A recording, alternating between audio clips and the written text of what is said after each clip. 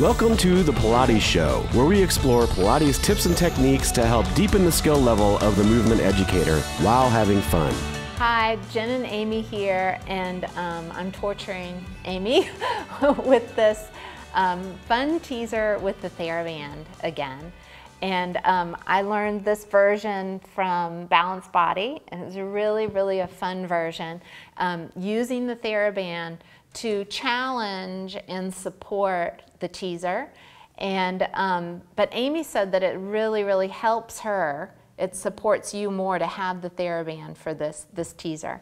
And then we're gonna add the cheerleader arms to this. So we add a little bit of thoracic rotation, uh, keeping the legs and the pelvis in the same place. So that is a real huge challenge to this, this particular exercise.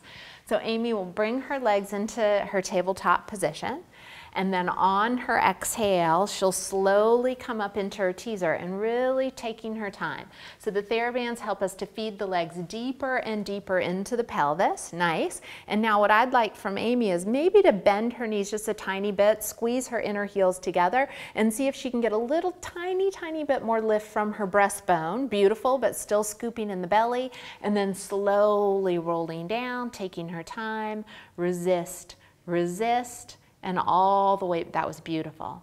So what I really, for me, I want to see a slow coming up into a teaser and then a very slow coming down into a teaser. And where most of our clients are missing the skill is the coming down and the control and the precision coming down.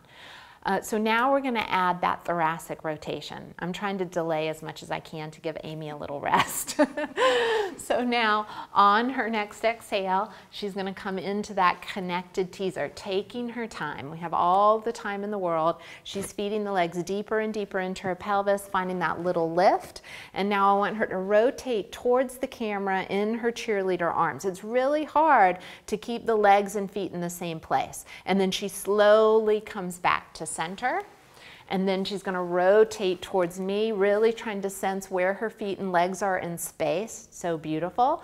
And back to center, reinforcing that scoop below the belly button. And then slowly, slowly rolling down, resisting, resisting, bending the knees, and rest. Good, you can place your feet down.